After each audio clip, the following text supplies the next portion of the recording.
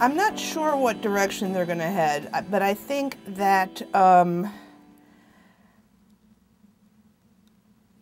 I think that what we're going to see is that there has been really a very large influence of Thomas Krens on the museum world in general. I know that doesn't answer your question because by the time this comes out, frankly, they could have hired someone and it won't really make any sense. But I'll say that there were things that, for example, branding. When he came in from the Yale School of Organization and Management and he was talking about branding, and everyone said, oh, this is completely inappropriate for the world of fine arts museums.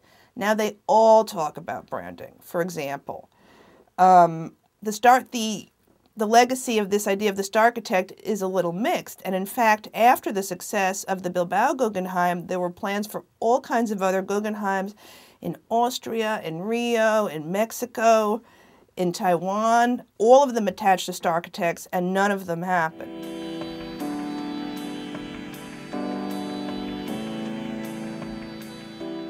Because all of these projects, again, are combinations of finance, diplomacy, politics, local governments. They're very hard to get off the ground.